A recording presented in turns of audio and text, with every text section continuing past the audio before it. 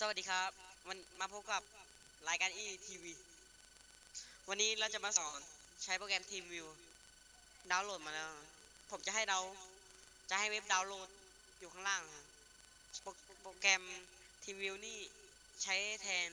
โปรแกรมหน้าจอ เอาไว้ควบคุมคอมคน ควบคุมคอมของเพื่อนนะฮะให้เราดาวน์โหลดเสร็จแล้ว ไว้ไว้ที่หน้า desktop desktop หน้าเดสก์ท็อปอะ วางเลยครับแค่เนี้ยฮะ double click เข้าไปกด run next แล้วก็อันนี้ กดรอสักพัก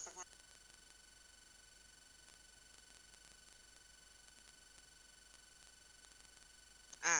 แล้วก็รออีกแป๊บเนี่ยรหัสมาละแค่เนี้ยครับถ้าเราจะกาออกเสือกมาอีก อะกาออกเข้ามาใหม่ ก็ทำเหมือนเดิม เอเออ๋ก็เข้าเหมือนเดิม กดรันเน็กแค่นี้ครับจบคลิปเองนี่ขอบคุณครับ